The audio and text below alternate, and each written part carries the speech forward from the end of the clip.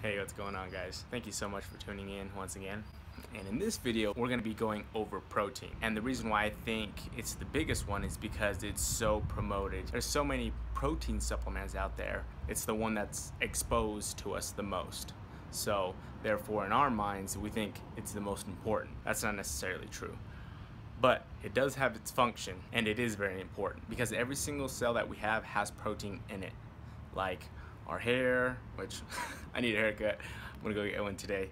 Um, our nails, our skin, our muscles, obviously. Ugh, getting a good pump today.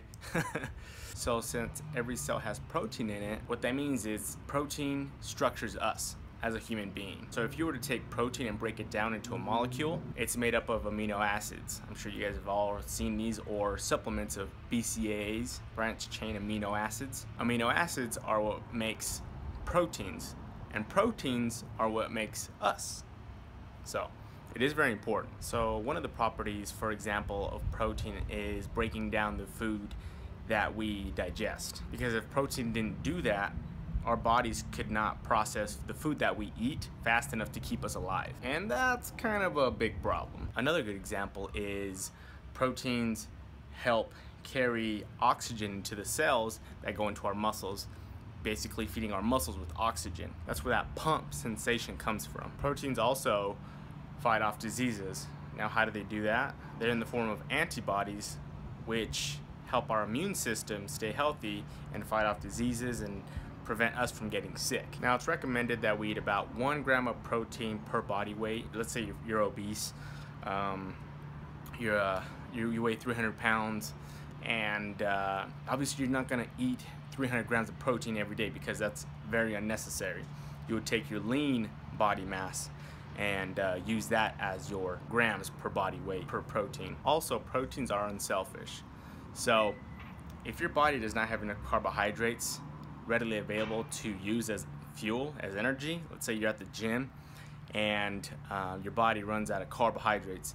It'll start breaking down proteins, which means it'll start breaking down muscle to use it as energy. Now, if you're cutting, you want to consume about one gram to about 1.3, 1.4 grams of protein per body weight because what's happening is you're you're in a deficit of calories meaning you're going to be losing weight and along with that weight means you're going to lose muscle no matter what. Now, while cutting, obviously we want to retain as much muscle as possible, but there's no way going around it that you're going to lose some amount of muscle. And obviously by losing some amount of muscle, you're also going to be losing strength.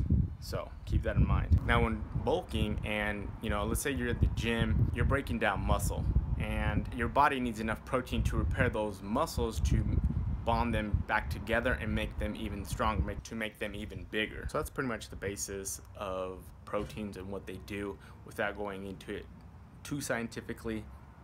So in the next video, now that we've learned about all three uh, macros, we're gonna go ahead and put them together and figure out how much you should be intaking per gram of each one. So thank you guys for tuning in once again. If you have any questions or comments, go ahead and leave in the comment section below. As always, stay fitted, stick with it, and I'll see you guys in the next one.